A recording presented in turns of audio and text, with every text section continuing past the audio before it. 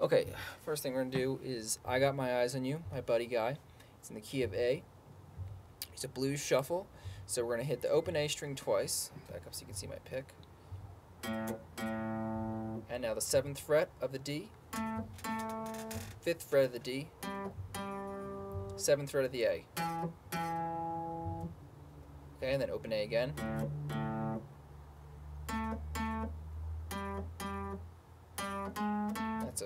Build up, a triplet build up. Okay, it's going to repeat from there. So here's what it's going to sound like together.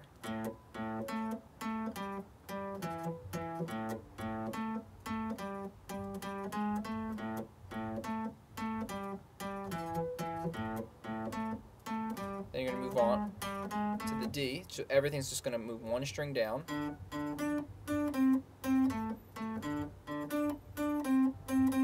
Back to the A. Now we have the ending. Seventh fret of the uh, A string to the ninth fret of the G string. Seventh fret of the G. And the walk up. We're to shift everything uh, up one whole step. So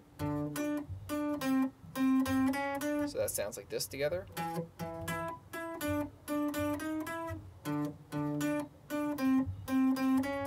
Okay, and then we're to hit the open A.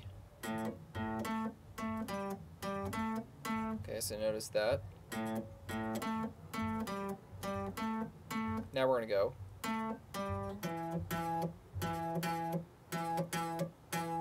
Okay, and that's seven, five, seven. Okay, so try and connect all of that. And then you're gonna, we're going to play Against the Wind by Bob Seger. So it's just a G major chord, but the strumming pattern is what we're concerned about here. So it's going to go down, down, up, up, down, down, up, down, up, up, down. So nice and slow.